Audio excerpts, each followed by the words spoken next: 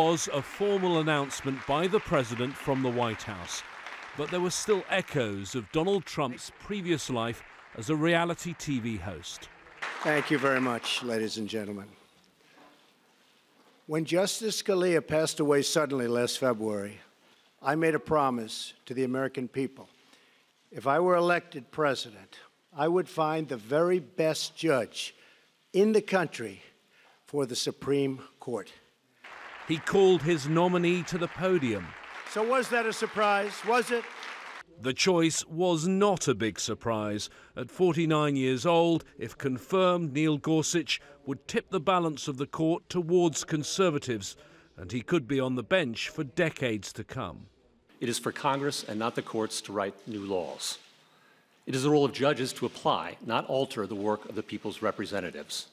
Choosing a Supreme Court judge is one of the most important political decisions that any president can make. It's always controversial, but then again, everything this president has done in his short time in office has been controversial too. Trump's executive order on immigration has caused chaos at airports and widespread protest. Thank you all very much. On Capitol Hill, there's been condemnation of the order and of the dismissal of acting Attorney General Sally Yates, who was fired by Trump after refusing to implement it.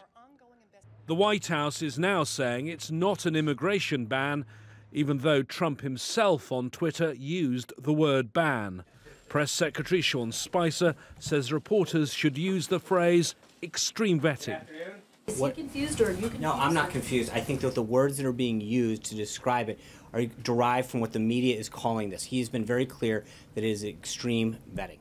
Although it's so extreme that if you're coming to the US from any of the affected countries, it's highly likely you won't be allowed to board your plane. Thank you very much.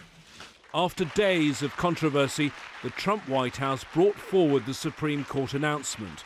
They believe the selection of Judge Gorsuch will be popular with their core supporters and will perhaps drown out all their other problems.